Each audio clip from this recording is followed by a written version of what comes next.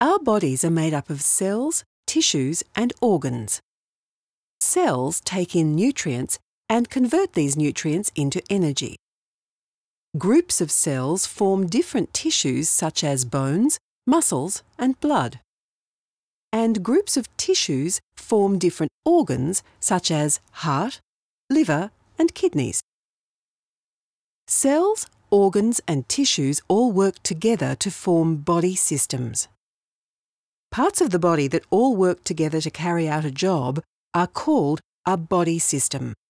For example, the parts that do breathing are called the respiratory system. The parts that pump blood around the body are called the cardiovascular system. There are 11 systems in the body. Each one has its own job, and each system uses specific organs. But they all depend on each other to work correctly together. This keeps the body stable and healthy. This is called homeostasis. The body systems are the integumentary system, the skin, hair and nails which cover our body. The muscular system, muscles which allow our body to move. The skeletal system, the bones and joints which support the body and protect internal organs.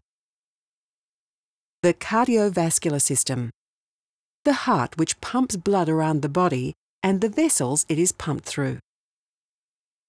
The respiratory system, the organs which allow us to breathe air in and out.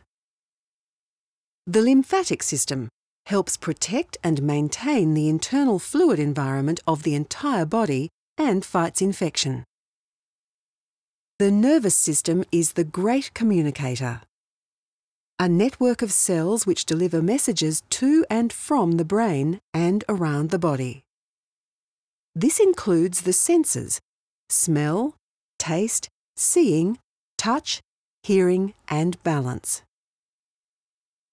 The endocrine system is a system of glands which releases hormones which affect our growth and moods. The reproductive system, the organs in females and males which allow pregnancy and birth to occur. The digestive system, how food is changed into nutrients the body needs and gets rid of waste it doesn't need. And the urinary system, which gets rid of liquid waste. If one part of the body does not work properly, it will affect other parts of the body. All the body systems need to work together to maintain a healthy body. Throughout life, each person is continually changing physically and mentally. Understanding body systems will help us understand our bodies and their changes, and how to maintain healthy bodies.